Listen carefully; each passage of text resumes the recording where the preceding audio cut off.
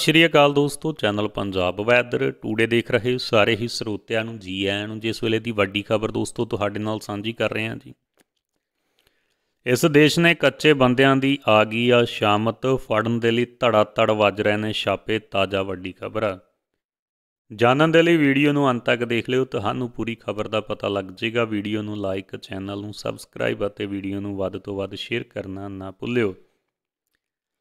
ਆਪਣੀ ਸੁਰੱਖਿਆ ਨੂੰ ਲੈ ਕੇ ਹਰ ਵਕਤ ਡਰ ਬਣਿਆ ਰਹਿੰਦਾ ਕਿਉਂਕਿ ਵਿਦੇਸ਼ਾਂ ਦੇ ਵਿੱਚ ਉੱਥੋਂ ਦੀਆਂ ਸਰਕਾਰਾਂ ਵੱਲੋਂ ਬਹੁਤ ਕੁਝ ਸਖਤ ਨਿਯਮ ਜਿਹੜੇ ਲਾਗੂ ਕੀਤੇ ਜਾਂਦੇ ਨੇ, ਜਿਨ੍ਹਾਂ ਦੀ ਉਲੰਘਣਾ ਕਰਨ ਵਾਲੇ ਤੇ ਸਰਕਾਰਾਂ ਵੱਲੋਂ ਸਖਤ ਸਜ਼ਾਵਾਂ ਵੀ ਦਿੱਤੀਆਂ ਜਾਂਦੀਆਂ ਨੇ। ਹੁਣ ਇਸ ਦੇਸ਼ ਦੇ ਵਿੱਚ ਕੱਚੇ ਬੰਦਿਆਂ ਦੀ ਸ਼ਾਮਤ ਆ ਗਈ ਹੈ, ਜਿੱਥੇ ਫੜਨ ਦੇ ਲਈ ਪੁਲਿਸ ਵੱਲੋਂ ਧੜਾ ਧੜ ਛਾਪੇਮਾਰੀ ਕੀਤੀ ਜਾ ਰਹੀ ਹੈ, ਜਿਸ ਬਾਰੇ ਤਾਜ਼ਾ ਵੱਡੀ ਖਬਰ ਸਾਹਮਣੇ ਆਈ ਹੈ। ਪ੍ਰਾਪਤ ਜਾਣਕਾਰੀ ਦੇ ਅਨੁਸਾਰ ਜਰਮਨ ਦੇ ਵਿੱਚ ਅਸਥਾਈ ਤੌਰ ਤੇ ਰਹਿ ਰਹੇ ਮਜ਼ਦੂਰਾਂ ਨੂੰ ਜਿੱਥੇ ਕੁਝ ਲੋਕਾਂ ਵੱਲੋਂ ਕਥਿਤ ਮਨੁੱਖੀ ਤਸਕਰੀ ਦੇ ਆਧਾਰ ਤੇ ਲਿਆਂਦਾ ਜਾਂਦਾ ਹੈ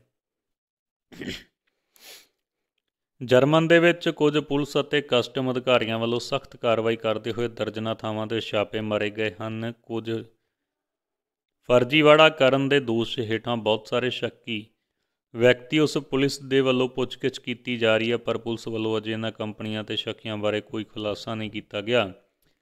ਜਰਮਨ ਦੇ ਵਿੱਚ ਛਾਪੇ ਮਾਰਨ ਵਾਲੀ ਪੁਲਿਸ ਨੇ 1000 ਅਧਿਕਾਰੀਆਂ ਵੱਲੋਂ ਛਾਪੇ ਮਾਰੇ ਗਏ ਨੇ। ਛਾਪੇ ਦੇਸ਼ ਦੇ ਵਪਾਰਕ ਅਦਾਰਿਆਂ ਤੇ ਉੱਥੇ ਜਰਮਨੀ ਦੀ ਰਾਜਧਾਨੀ ਬ੍ਰੈਂਡਨ ਬਰਗ ਦੇ ਵਿੱਚ, ਸੂਬੇ ਦੇ ਵਿੱਚ ਕਈ ਮਕਾਨਾਂ ਵਿੱਚ ਵੀ ਮਾਰੇ ਗਏ ਨੇ। ਦੱਸਿਆ ਗਿਆ ਕਿ ਤਲਾਸ਼ੀ ਯੂਰਪੀਅਨ ਪੁਲਿਸ ਦੇ ਵੱਲੋਂ ਸਵੇਰੇ 7 ਵਜੇ ਦੇ ਕਰੀਬ ਲਈ ਗਈ ਆ। ਪੁਲਿਸ ਦੇ ਵੱਲੋਂ ਇਸ ਘਟਨਾ ਦੀ ਸੂਚਨਾ ਜਿਹੜੀ ਟਵੀਟ ਤੇ ਕਰਕੇ ਦਿੱਤੀ ਗਈ ਸੀ। ਧੰਨਵਾਦ।